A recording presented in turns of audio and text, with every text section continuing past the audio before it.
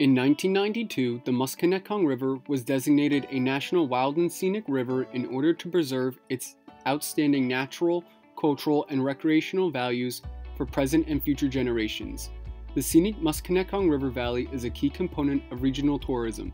However, the river ecosystem is under attack from an invasive species.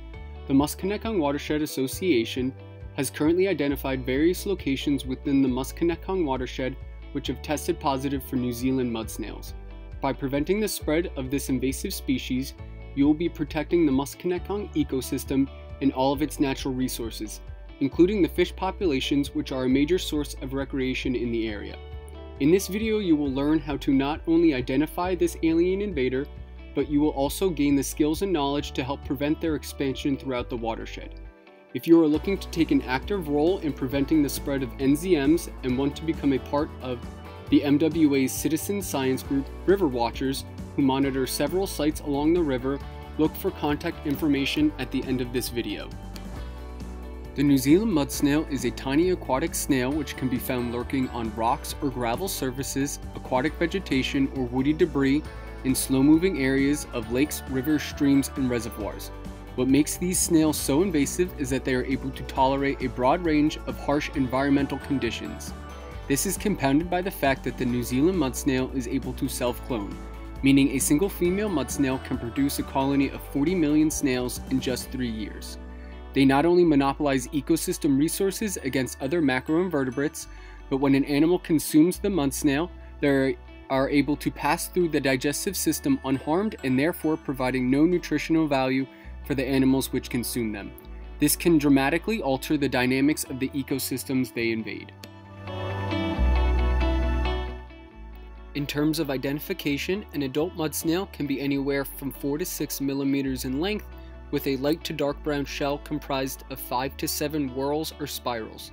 When holding the snail with the opening on the bottom and facing you, their shell should open from the right. Our goal is to minimize the mud snail's introduction to other parts of the Musconetcong or other bodies of water. In order to do so, the following protocol should be followed. First, you want to stomp and visually inspect boots and waders upon leaving the water source.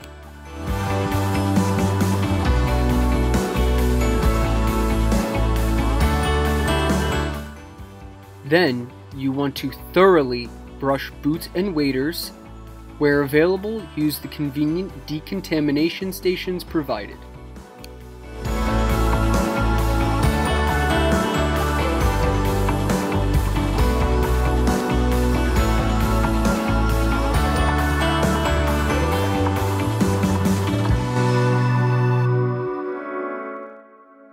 To ensure any remaining mud snails that may be tucked away or killed, spray with Formula 409 degreaser in the green bottle or Virkon, which have both been found to be the most effective disinfectants for killing NZMs on waders.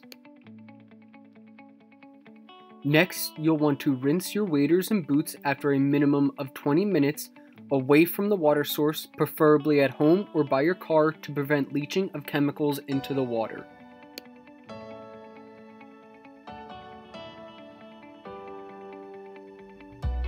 Finally, and probably most importantly, let your waders and boots dry.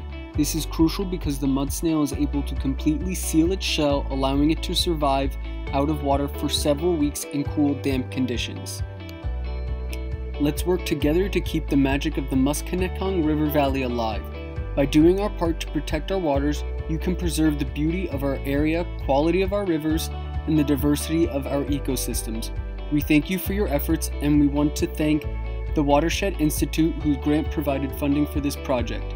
If you are interested in learning more or are looking to get involved, please contact the following resources.